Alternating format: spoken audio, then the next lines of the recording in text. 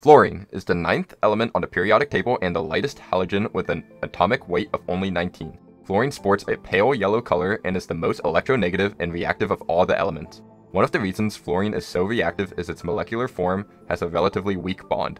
This makes it easy to break the two fluorine atoms apart, allowing the atoms to react quickly with other elements. This high reactivity and small size allows fluorine to form strong bonds with almost all elements, and fluorine gas is so reactive it can cause materials like glass or steel to burn spontaneously on contact. Fluorine was first isolated in 1886 by the French chemist Henri Moissan, who used electrolysis to separate it from hydrogen fluoride. The element gets its name from the mineral fluorite, where it was first discovered.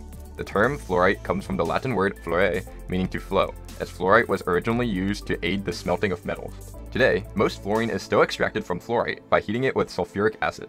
This causes the fluorite to release hydrofluoric acid, which is then electrolyzed to produce pure fluorine gas. Fluorine is the 13th most common element in the Earth's crust, and fluorite deposits are found in many countries including China, Mexico, and South Africa. Fluorine is a key component in the manufacturing of uranium hexafluoride, which is needed by the nuclear power industry to separate uranium isotopes. Fluorine-based materials are also often used in the anti-reflective coatings used to improve solar panel efficiency, and fluoropolymers like Nafion are used as proton exchange membranes in hydrogen fuel cells. While fluorine itself is highly toxic, fluoride is an essential ion for animals, strengthening teeth and bones, which is why it is often added to toothpaste. Some countries even add fluoride to drinking water as its presence is believed to help prevent dental cavities.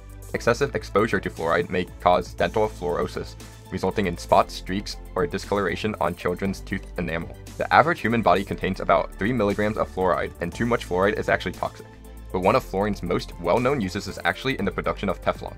Teflon is best known for its non-stick properties, commonly featured in frying pans, but is also used for cable insulation and plumber's tape.